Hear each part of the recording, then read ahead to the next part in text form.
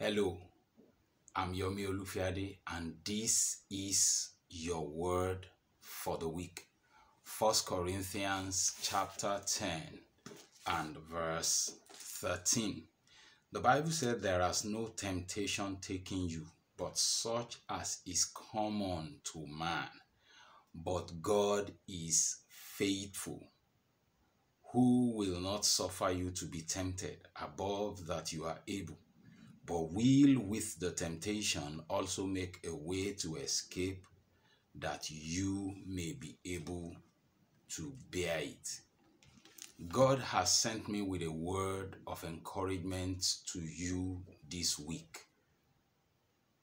If you catch hell, don't hold it. If you're going through hell, don't stop. I wouldn't know what you're going through, but my admonition to you this week is to hear the word of the Lord. The Bible said there has no temptation, no trial, no tribulation, no circumstance overtaking you, but such as is common to man. So I'd like to encourage you. The first thing to tell yourself, no matter what you're going through this week or any other day of your life, is this it is common to man. If you are going through hell, it is common to man. If you happen to catch hell, it is common to man. I can begin to tell you examples upon examples of different people that happened to catch hell or they passed through hell. Daniel was God's emissary in Babylon. He was put in a lion's den for daring and attempting to pray and live a righteous life. Talk about going through hell. Joseph was trying to live for God in the land of Egypt, yet the wife of Potiphar cast her eyes on him, set him up, and lied against him, and he ended up in prison. He interpreted dreams for people, they forgot him there.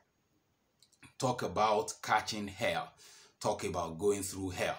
But the word of the Lord to you this week is this if you catch hell, don't hold it. If you're going through hell, don't you ever stop. First thing, tell yourself it is common to man. It has happened to people before you, it will happen to men after you. So it is common to man. Number two, from this passage of scripture, that you need to understand is simple God is faithful. Say with me, God is faithful. God is faithful. Maybe your bank account is red. God is faithful. Maybe there is sickness on your body. God is faithful. Maybe your business is going through turbulent times. God is faithful. Maybe your career, you are going through some challenges there. God is faithful. He said, There is no temptation, there is no trial, no tribulation that you might be going through, but such as is common to man, and God is faithful.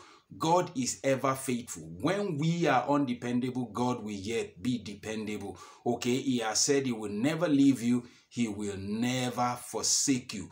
God is faithful.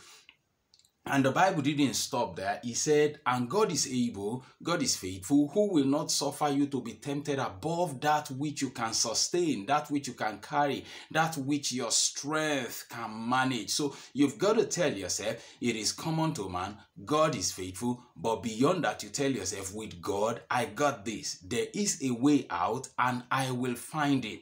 Okay? The Bible said in the book of Proverbs, chapter 24 and verse 10, He said, If you faint in the day of adversity, it's an indication that your strength is small. But I say to you, my dear friend, your strength is not small. With God on your inside, you've got this. He said, with God, He will not suffer you to be tempted above what you are able. So that circumstance, God knows you have capacity to carry it. It might not be evident to you right at the moment, but I believe that as I'm speaking to you, strength is being infused into you, and you are beginning to see resources you are previously unaware of that will take you through that situation and bring you out on top. With that same challenging situation, God will make a way for you.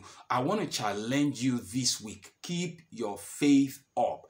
Keep speaking your faith. Tell yourself, it is common to man. Tell yourself, my God is faithful. Tell yourself, with God, I got this. And as you begin to pray, as you begin to confess your faith, as you begin to speak the word of God over that situation, I tell you something, you will begin to see the victory of the Son of God. I say to you again, if you catch hell this week, don't hold it. If you happen to go through hell, don't you ever stop. Keep pressing, keep pushing, keep moving, keep going forward. And I tell you something, even with the same temptation, God is going to make a way of escape for you. I pray for you that the grace of God be released in your direction to grant you victory and bring you out on top. You are a winner, you are never a loser.